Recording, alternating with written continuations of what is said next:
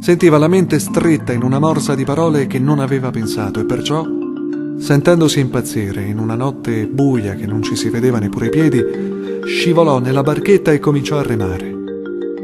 Il cuore gli batteva nelle orecchie, ma più forti erano le parole che misteriosamente si sentiva sussurrare all'orecchio. Ci devi salire a piedi nudi sulla luna. Così puoi sentire le piccole pepite di carbone e di zinco. Puoi sentire la carezza dei petali di fiori colore del ferro. Immagina, alzando gli occhi, puoi vedere penzolare sulla tua testa il manto terrestre del mare, luccicante, vibrante per i guizzi dei pesci. Ah, sapessi quanti di loro sognano di poter spiccare un salto che li porti sulla luna. Così a volte gli oggetti, attratti dalla forza lunare, riuscivano ad arrivare fin lassù ed andavano ad ingrossare i viottoli e le piazzette della discarica. Fondi rotti di bottiglie, scheletri di ombrello, calzini spaiati, tazzine sbrecciate, pellicce spelacchiate, fotografie strappate, libri sbiaditi di cavalieri e mille altri piccoli oggetti incartati di storia e accumulati gli uni accanto agli altri senza un criterio preciso, ma che per Leon Bruno rappresentavano lo specchio delle vite che si intrecciavano in una delle luminose città della terra che gli pendevano sulla testa, quando a volte si sdraiava sui crinali dei crateri a suonare la sua arpa. Comunque chissà se per colpa di queste parole Chissà se per il desiderio grandissimo di andare a vedere quegli agglomerati di luci bianche e giallastre che vedeva accendersi sulla terra, sta di fatto che un giorno Lium Bruno salutò i suoi amici astomi. Salutò e ringraziò il tizio. Si mise l'arpa a tracolla, si dette una giustatina ai capelli, si fece coraggio e cominciò a scivolare sulle catene di parole così come aveva visto fare al tizio con la gobbetta.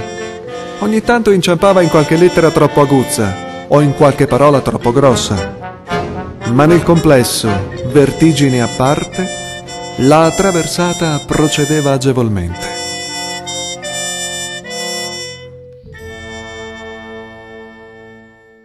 Si accorse che tutta quella musica, tutte quelle note emesse dall'organo, non si erano dissolte ma si erano raggrummate nell'aria formando dei lunghissimi filamenti che lo avrebbero riportato sulla sua luna. Ma vuoi per la fretta e la paura? Vuoi perché fra arpa e organo idraulico meccanico Leon Bruno pesava un terremoto? Vuoi perché i calcoli musicali procedono diversamente da quelli aritmetici? Vuoi perché Leon Bruno era stato sempre un po' maldestro? Sta di fatto che andò ad inciampare in un accordo di settima diminuita e andò a finire dritto dritto su due strani tipi a cavallo che sembravano cercare qualcosa. Leon Bruno finì loro addosso con un tale impeto che tutti e quattro, ippogrifo compreso, si ritrovarono a gambe all'aria. Ci volle un po' per districare quel groviglio di spade, zampe e braccia. Ma quando le armature cigolanti, le staffe e gli arcioni furono ricollocati al giusto posto, Leon li riconobbe. Pronto? Pronto? Ah, sto cavallo vola. Ah, vola. Bello. E come si chiama? Ippogrifo? Mm. Io... Ci sta qua un'amica mia a stoma, no? Si chiama Titino. Mo gli metto le ali e faccio l'ippotitino.